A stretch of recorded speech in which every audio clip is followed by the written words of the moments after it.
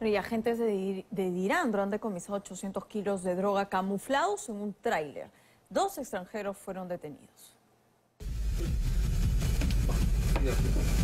Los ladrillos que los agentes de la Dirandro iban sacando de esta caleta, ubicada en la parte de carga de este tráiler, llevaban impreso el nombre de a quien se le conoce como el padre de todo en la mitología nórdica, el dios Odín.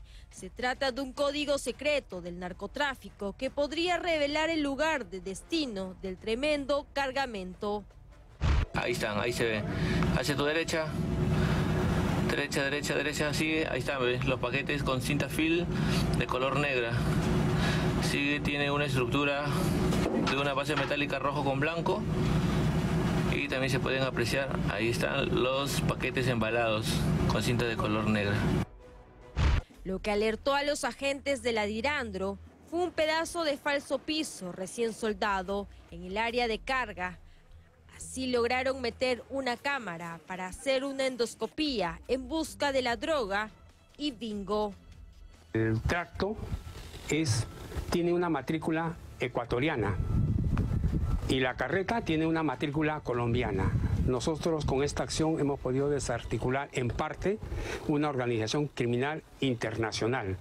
Dos ciudadanos ecuatorianos fueron detenidos por los agentes de la División de Investigación contra el Tráfico de Drogas de la Dirandro, quienes responden a los nombres de Jonathan Guido Rosero y del copiloto Edwin Fernando Pazmiño Cabrera que esta droga, que si bien es cierto, ha sido este, elaborada en Colombia, fue trasladada hacia Ecuador. En Ecuador cambiaron el tracto, colocaron un tracto eh, ecuatoriano, pero la carreta seguía siendo colombiana y se estaban trasladando acá este, por Perú hacia el sur, con destino a Chile y con destino final a Europa.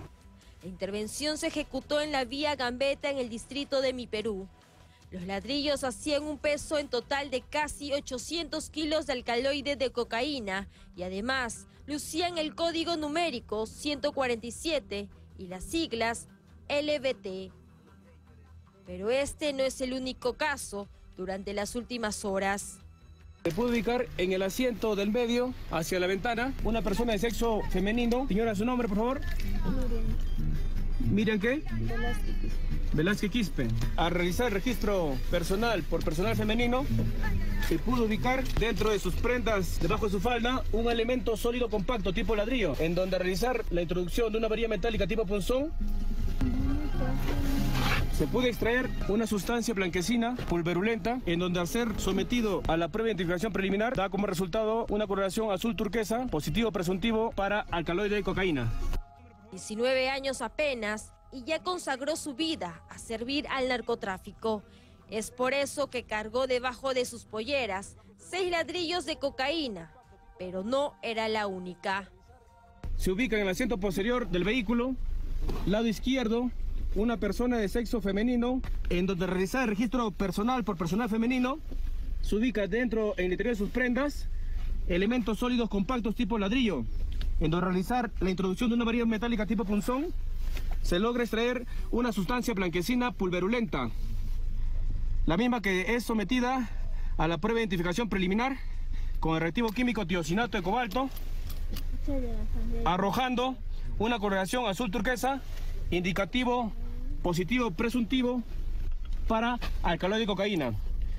Entre las dos llevaban 12 kilos 600 gramos de alcaloide de cocaína, toda una vida arrojada por la borda. Finalmente, oculta en esta mototaxi, la mafia preparaba una siguiente entrega en esta parte del distrito. En total, más de 50 kilos distribuidos en diferentes caletas ubicadas en la puerta de ingreso. Es la acción inmediata de los agentes de la Dirandro del puesto de control Manchete. Todas estas prósperas intervenciones no hacen más que hablar del óptimo trabajo de la Dirección Antidrogas, a poco de cerrar el año en el que ya batió un récord histórico en cuanto a droga cocaínica decomisada, superando las 100 toneladas.